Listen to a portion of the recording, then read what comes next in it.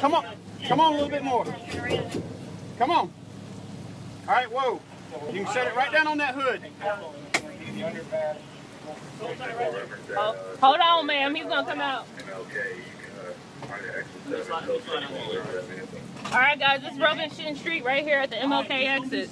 You see, we got the fire department blocking off the roadway. We are currently trying to rescue this woman. Her car got stalled out. She got caught up in the flood. She has her child with her. Driver left about an hour and a half ago. Oh, come on, sweetie. Oh, Okay. come here.